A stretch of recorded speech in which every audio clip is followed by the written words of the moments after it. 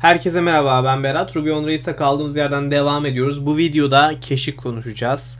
Ruby on Race'te cache neden yapılır, nasıl yapılır onlardan bahsedeceğiz. Öncelikle cache nedir bunu, bir bunu konuşalım. Cache bir sistemde performans arttırmak için kullanılan ilk yöntemlerden biridir. Örneğin bizim projemizde bir product tablosu vardı ve product tablosunun 100 bin satır olduğunu düşünürsek ve bir kullanıcı gitti sisteme bir filtrelemede bulundu. Dedi ki bana X kategorisindeki e, ürünleri getir ve bu kategoride 10.000 tane ürün olduğunu varsayalım. Ve biz 10.000 ürünü sürekli SQL tablosuna gidip işte bu kategorisi al, şu kat, bu kategorisi al al diyerek 10.000 tane satırı çekmek yerine daha önceden başka bir kullanıcının çektiği 10.000 satırı belleğe veya NoSQL gibi e, sunuculara Redis server bunlardan biri kaydederiz. Ve başka bir kullanıcı aynı filtrelemeyi uyguladığı zaman tekrardan gidip SQL tablosundan bu datayı almak yerine direkt gider cache'ten yani bellekten veya NoSQL veri tabanından e, NoSQL sunucudan alırız. Bunu neden yapıyoruz? Bunu performans artsın diye, uygulamalar daha hızlı çalışsın diye. Çünkü 100 bin satır içerisinden 10 bin satırı filtrelemek yerine zaten filtrelenmiş bir datayı alıyor cache. İşte cache bir sistemdeki en önemli yapılardan biridir. Hemen hemen bütün uygulamalar, bütün web uygulamaları cache'i kullanır. Kullanmayan sistem neredeyse yoktur. Biz burada Reis cache için Redis sunucusunu, Redis e, cache'i kullanacağız. Aslında birçok cache yöntemi var. Biri memory cache, biri Redis cache. İşte page cache var. O e, sayfaları renderlayan bir cache yöntemi. Ama biz tamamen Redis'e odaklanacağız. Redis server odaklanacağız. Ve Redis nedir onu bir konuşalım. Redis NoSQL bir e, veri tabanı gibi düşünebilirsiniz. Bizim ileride aktif cevapları göreceğiz. Aktif cevaplarımızı sıraya koyan ve o sıraya göre işlemleri gerçekleştiren bir sunucu. Bunun neden Redis değil de e, Redis kullanıyoruz, memory cache kullanmıyoruz? Çünkü şöyle, memory cache random access e, random access memory'de bütün datayı tuttuğu için uygulama yeniden başlatıldığı vakit veya bilgisayar sunucu kapandığı vakit bütün data cache'ten gidecektir. Veya bütün yapılması gereken işlemler cache'ten gidecektir. Çünkü neden? O RAM'e kaydedilmiştir. RAM Random Access Memory gitti. Yani hiçbir şey kalmadı. Ama Redis gibi sunucular bunları kendi işlerinde bir algoritma ile tuttuğu için bir yapıda NoSQL bir yapıda tuttuğu için bunlar asla kaybolmaz. Sunucu yeniden başlatılsa dahi. Her zaman orada var olurlar. Ta ki expire yani e, bizim verdiğimiz bir sürede son buluncaya kadar. Redis cache'i sadece Redis Redis cache diyorum sürekli özür dilerim. Redis sunucusunu sadece cache için kullanmayacağız. İleride Sidekick dediğimiz kütüphane ile aktif cevapların yapımında da kullanacağız. Oldukça önemli. Sadece Redis için değil, e, .NET için, Spring Boot için, Node.js uygulamaları, Python, Django uygulamaları hepsinde Redis cache kullanılıyor hemen hemen. İşte tabi bazılarında spesifik şeyler var. Mesela .NET'in, Microsoft'un kendi yazmış olduğu bir cache var. Microsoft'ta o, .NET'te o kullanılıyor. İşte diğer app'lerde farklı cache yöntemleri var mutlaka. Ama Ruby on Rails için en iyisi Redis Cache diyebiliriz. Hemen bunun kullanımıyla başlayalım. Oldukça basit bir kullanımı var. Şimdi Redis Cache'in kuru aslında öncelikle Ubuntu üzerine Redis Cache kurmanız gerekiyor.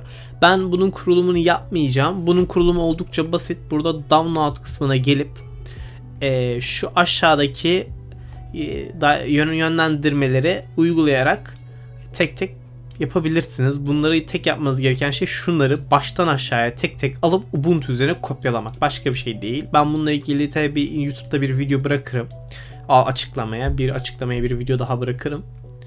Ve oldukça basit bir kurulumu var. Şimdi projeme geliyorum. Projemde öncelikle Redis server çalıştırmam gerekiyor. Redis server çalıştırabilmek için Redis dash işareti koyuyoruz ve server diyoruz. Tire işareti koyup server diyoruz. Ve Redis server'ım çalıştı. Bakın Redis server'ım 63.79 portunda çalışıyor. Yani şöyle bir şey. İşte localhost 63.79 gibi bir portta çalışıyor. Ve Redis Server kullanabilmem için benim iki tane gemide yüklü olmam gerekiyor. Bu gemler şöyle direkt ben kopyalayacağım. Ee, şöyle Evet şu şekilde getirdim gemlerimi. Kopyaladım buraya yapıştırdım. Bir Redis bir de Redis Rails gemi var. Şimdi bu iki gemi çok önemli bu iki gem. Bu iki gem olmadan bu çalışmayacaktır ve şimdi bu iki gemi bundle install diyerek yüklememiz gerekiyor. Bundle install diyerek yüklüyorum. Yükleme tamamlandı bende. Sizde de aynı şekilde yükleme tamamlanacaktır ve bunları yaptıktan sonra yapmamız gereken bir iki configuration var. Bir, bir iki ayar var. Bu ayarlardan birini config içerisinde, environment içerisinde development RB'de yapacağız. Burada bizim altta bir cache store'umuz var. İşte bu cache store bir memory store olabiliyor şöyle. Bir memory store olabiliyor. Bir de farklı bir şey daha olacak. Şimdi o farklı bir şeyse bizim buraya Redis e, cache'ini yapacağımızı tanımlamamız lazım. Biz buraya diyeceğiz ki ben memory cache değil Redis cache'i kullanacağım ve bunu oraya tanımlayacağız. Aslında tanımı oldukça basit. Geliyorum şuraya siliyorum ve buraya direkt Redis cache e, store diyorum. Bu kadar.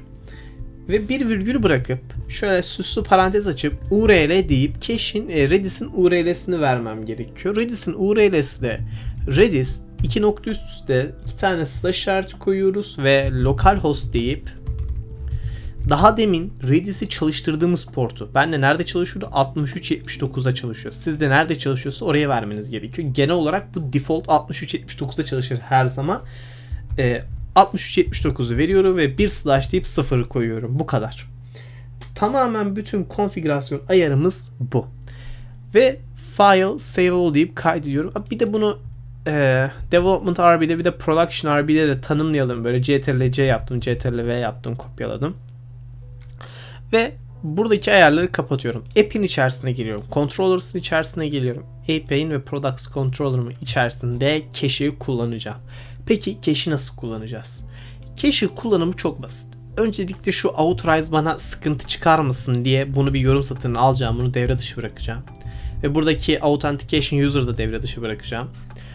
Cache'in kullanımı şu şekilde.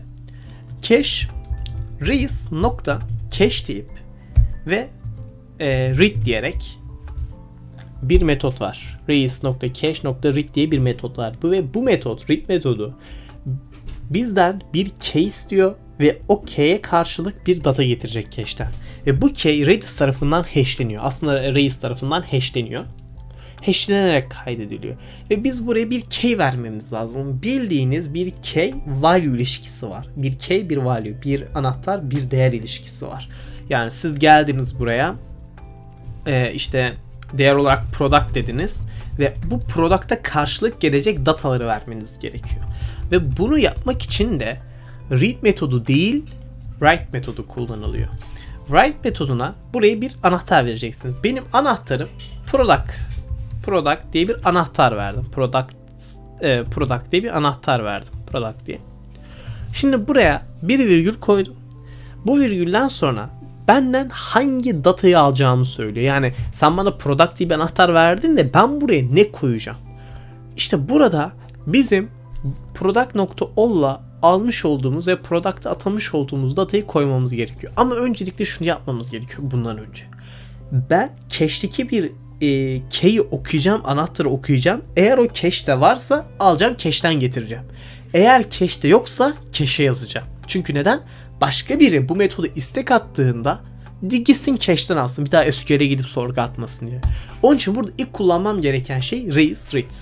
Ve hemen onu kullanalım. Result diyorum. Ve reis nokta cache nokta read.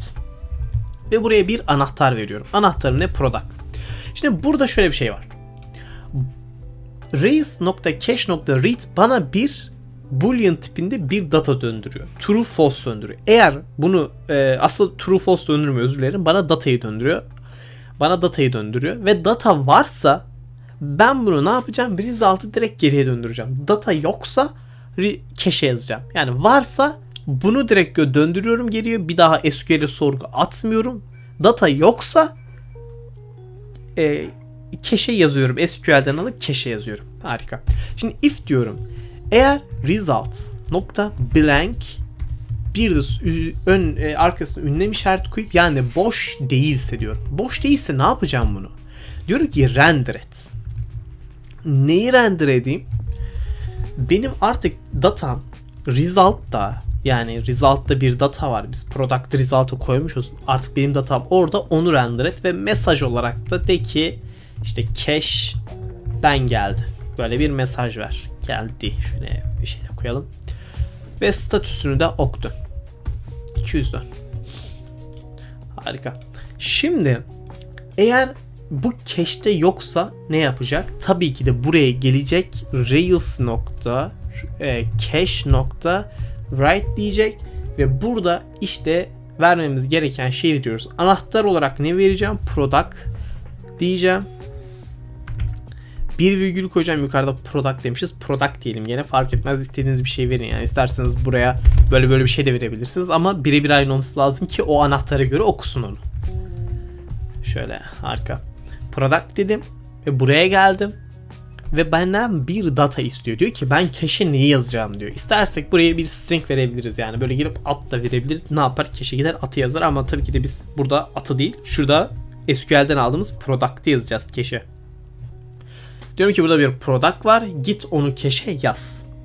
Sonra bir virgül koyuyorum ve buraya da expires in diyorum. Yani cache'ten ne zaman son bulacağını belirtiyorum. Diyorum ki bir e, saat. Bir hours diyorum. Bir saat. Bir saat sonra ya da böyle değil de direkt 60 minut diyelim. Genelde şey verirler e, 1 saat verirler 60 dakika verirler cache'ten, cache'ten uçsun diye. Bu şu manaya göre expire'si 60 dakika sonra bu cache'ten gidecek. Bu kadar basit bunun kullanımı. Ve tabii ki gelip şuraya da bir return ifadesi koymamız lazım bunun altına. Çünkü alttaki metodlar devam etmesin. Direkt burada bitirsin. Eğer cache'te varsa. Şimdi gidelim uygulamamızı bir yayın alalım. Reis S diyerek yayın aldık. Postman'imi açtım. Send dediğimde bakın bana bir mesaj olarak ne döndü? Ürünler listelendi. Gördünüz mü? Herhangi bir cache'ten geldi gibi ifade yok. Şimdi send dediğimde bakın nereden mesaj burada duruyor. Burada cache'ten geldi gibi bir ifade yazdı. Neden? Çünkü önce cache'de yoktu böyle bir key ve gitti bunu cache'e kaydetti. Artık cache'ten aldı. Ve ben ne kadar send dersem hep cache'ten oluyor. Sürekli cache'ten oluyor. İşte cache bu kadar hızlı ve efektif bir yöntem. Tabii ki buradaki kod oldukça berbat bir kod. Buradaki kodu değiştireceğiz. Bir sonraki videoda buradaki kodu değiştireceğiz. Peki neden değiştireceğiz? Ee, bizim solid prensiplerine single responsibility dediğimiz bir prensibimiz var. Bu prensip diyor ki tek sorumluluk prensibi. Yani bir metot tek bir iş yapar, bir class tek bir iş yapar, iki farklı işi yapamaz. Biz index metodunda geriye bir product mı döndürüyoruz yoksa cache mi yapıyoruz? Bunların hepsinin ayrı ayrı metotlarda ayrı ayrı modüllerde olması gerekiyor. Onun için buradaki kod evet kabul edilebilir düzeyde ama iyi bir kod değil. Bunu kesinlikle değiştirmemiz lazım. Değiştirmek için bir sonraki videoda e, görüşmek üzere. Hoşçakalın.